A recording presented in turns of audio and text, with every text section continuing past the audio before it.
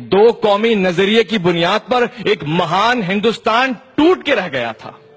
सलाम कीजिए ना इस पाकिस्तान को, जहाँ हर 18 करोड़ में से फर्द का अपना अपना नज़रिया है, मगर पाकिस्तान तो कायम है। सुना है कि यह मुल्क हमेशा कायम रहेगा। यहाँ की सरकारी मुलाजिम काम ना करने की तनख्वाह लेते रहेंगे और काम करने की रिश्वत। सुना है कि इस मुल्क का हर बाइंदा आपकी फलाह के लिए रिश्वत लेता रहेगा।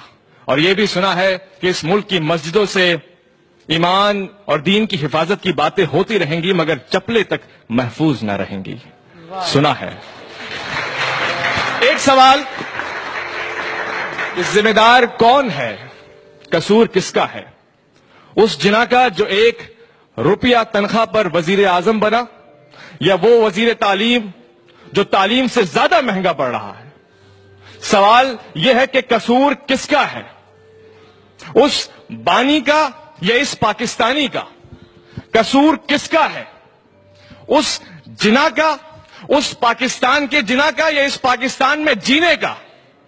एक बात जो याद रखनी चाहिए। उस वक्त हम एक कौम थे। हमें एक कायद की ज़रूरत थी। आज हम सब कायद हैं। मगर शायद हमें एक कौम की ज़रूरत है। वाह बहुत शुक्रिया, ज़बरदस्त। बहुत खूबसूरत और